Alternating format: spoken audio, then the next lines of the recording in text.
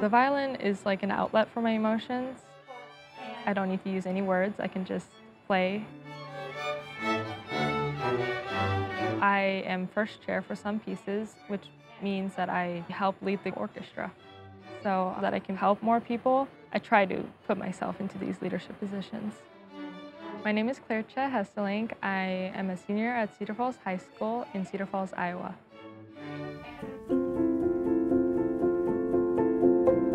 Cedar Falls is very quaint. Everybody knows each other. We are a community that really gets along. But I've heard many students trying to push their own opinions about how this COVID vaccine could change your genetic makeup.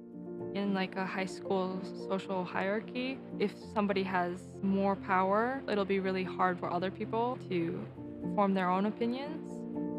There was like a group of guys who would make other people not want to wear masks by like peer pressure.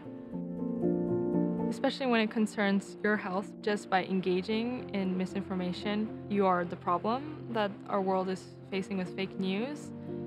Because we're in like a smaller town in Iowa, I think it's really important to read the news. I use social media and especially on like Instagram and Facebook and Twitter can be really overwhelming at times because I'm just constantly bombarded with information from like notifications.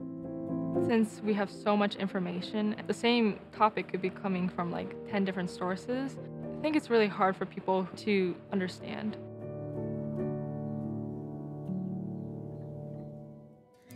In this lesson, you'll learn how to sift through all that content. Last year I took 21st century literacy with Mr. Winkel. Going through those lessons, key is finding evidence, substantiating your findings with evidence.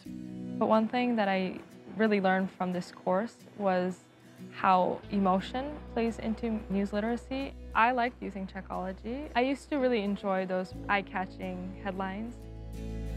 But because I took this class, I started to see how they use these kinds of strong language to make you feel a certain way, even if it wasn't true.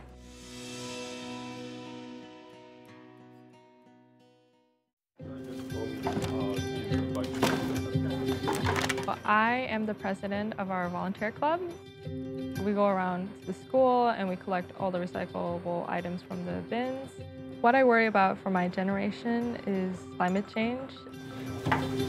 Because of this 21st century literacy class, I created a radio PSA about climate change. LEDs can do so much for this world, and so can you. Take the first step and convert the lights in your home to LED.